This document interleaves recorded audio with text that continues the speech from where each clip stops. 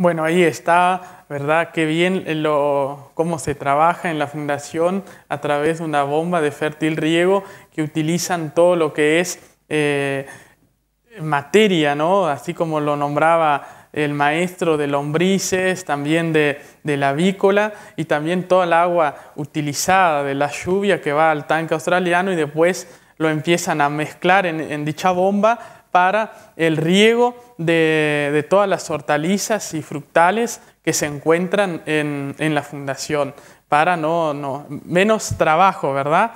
Eh, continuamos, si les parece, con lo que es la fundación y ahí dialogábamos con el mismo maestro sobre los árboles nativos que ahí se encuentran, las cortinas de árboles nativos que tienen en la fundación y también un trabajo que vienen haciendo con niños y, con, las escuelas ¿verdad? del municipio para seguir implementando lo que son árboles en, todo el municipio. Actualmente hay más de, 300 árboles plantados y más de 35 variedades de, nativas, tanto para sombra como este, también para, este, para fruta. Y bueno, hay un principio en la agricultura orgánica que dice que a mayor diversidad, mayor estabilidad en el sistema haber mayor estabilidad en el sistema y mayor productividad. Por lo tanto, en este sistema que trabajamos este, en consonancia con la naturaleza, lo que tuvimos que hacer es empezar a forestar y armar un, vivero comunitario acá en el, en el, predio para forestar el predio y también la, la comunidad, donde se han plantado en todos estos años más de 500 árboles con el municipio este, local y con instituciones educativas y otras instituciones acá del, del predio y las organizaciones de, de base.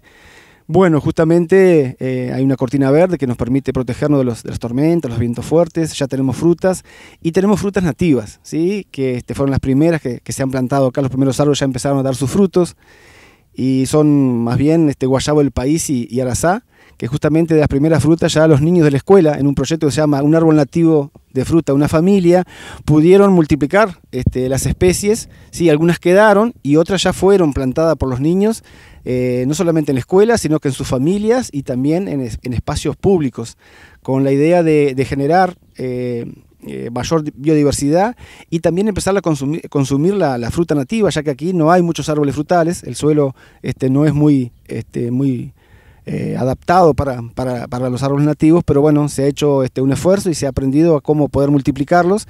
Así que hay muchas variedades ya en el pueblo, no solamente acá, que se ha multiplicado a través de los niños en ese proyecto.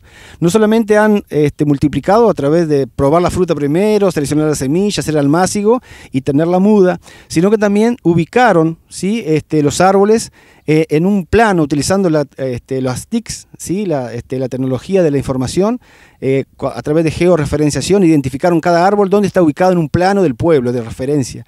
Como el, el guayabo del país no puede fecundizarse por sí mismo, necesita de otro, como los seres humanos nos necesitamos de todos, entonces este árbol nos da este, esta experiencia de que se necesitan dos.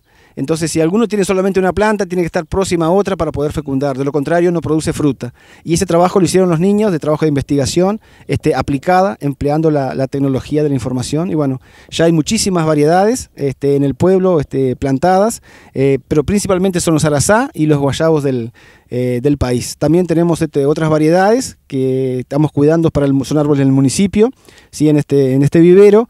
Y bueno, cuando hay necesidad de, plantar, este, se lo ha hecho con, con, muchos ejemplares ahí contiguo a la, a la peatonal. Y bueno, este espacio este, nos permite generar esa biodiversidad que bueno, eh, cuando iniciamos la producción acá había un ataque de plagas impresionante, este, muchos insectos y este, bajaba la calidad y en algunos no podíamos producir y actualmente con toda esta cantidad de colores, este, olores, ¿sí? este, y, biodiversidad que tenemos, se ha equilibrado el sistema, hay un control natural ¿sí? totalmente. Y bueno, prácticamente el uso eh, de biopreparados es, mínima la cantidad por toda la biodiversidad que se ha, se, se generado en el entorno.